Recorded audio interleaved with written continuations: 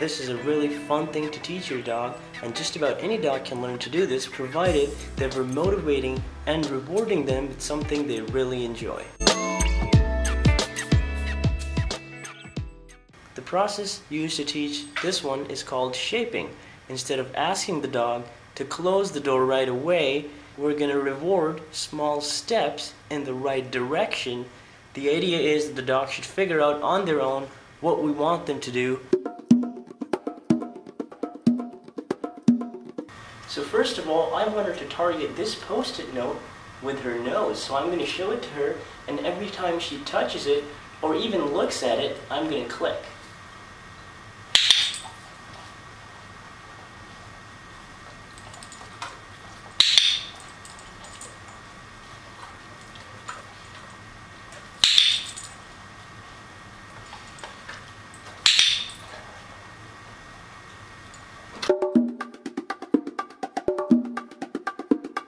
It's best not to use the cue until the dog offers the behavior on their own consistently.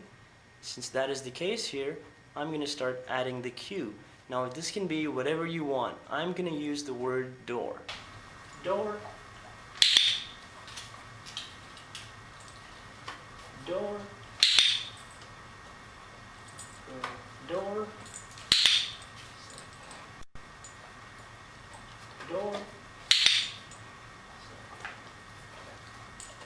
Door. Next, I can start moving the post-it very gradually closer and closer to the door. Door. Door. There we go. Door.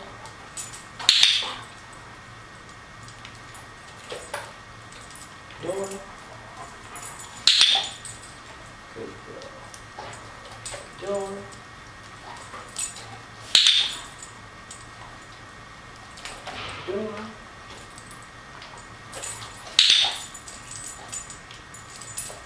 Door.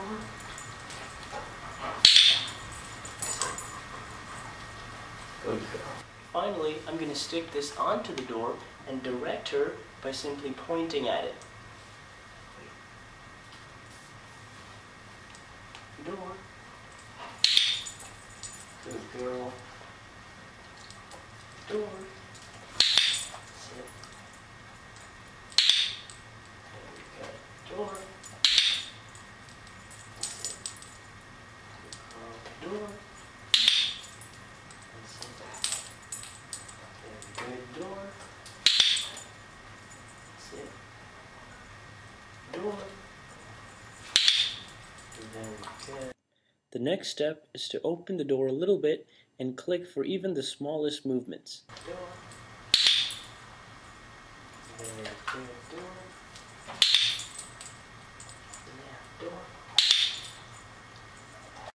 And eventually reward only for the full movement of the door closing. After doing this many, many times, you can remove the post-it if your dog gets confused when you do that, try making the post-it smaller progressively instead of taking it all off at once.